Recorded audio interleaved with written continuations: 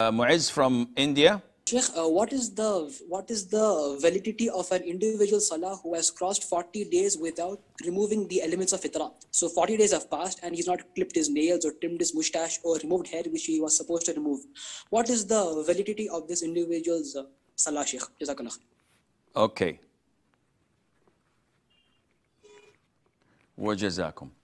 Muiz from India says, what happens if someone does not remove the things that are part of nature and we're told to remove, such as clipping the fingernails, shortening the mustache, removing uh, or plucking the uh, armpit hair, uh, shaving the pubic hair, etc.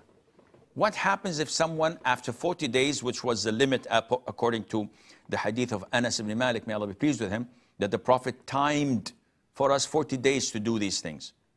What happens if someone in, uh, uh, um, uh, exceeds and goes beyond the 40 days?